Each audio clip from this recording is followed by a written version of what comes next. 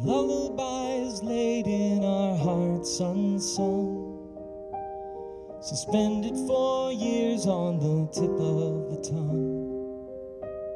But you sang a lullaby mingled with tears while you fought day and night with your fears. We wanted most what we could not conceive.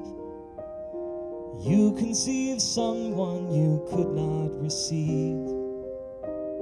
And so, with the selflessness mothers know well, you gave up your right to savor this love. You gave it all in a labor of love.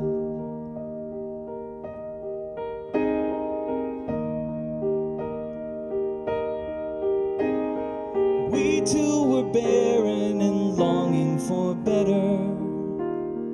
You bore the weight like a scarlet letter.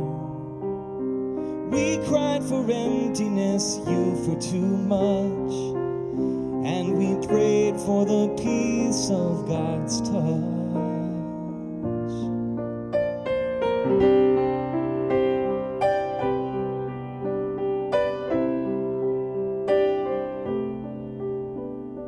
None of us drove on a dead end street. Mercy decided our stories would meet. Two roads converged at the point of our need, merging our lives in the ache of this love, yielding ourselves for the sake of this love.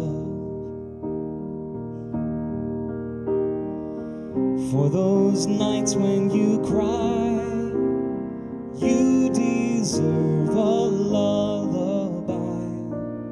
You're heroic and strong.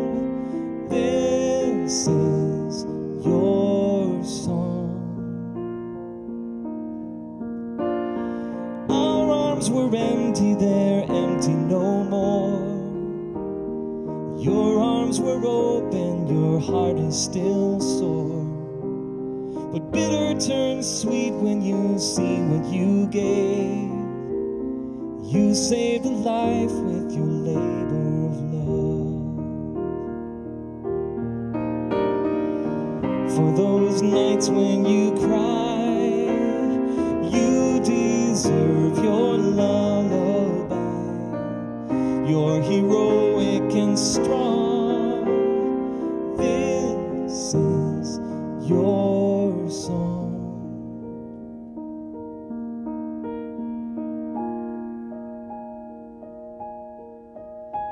We honor you best as we labor each day to raise up our children to follow God's way. But you can be sure every 10th of December we will remember your labor of love. We will remember your labor of love. We will remember your labor of love. We still remember.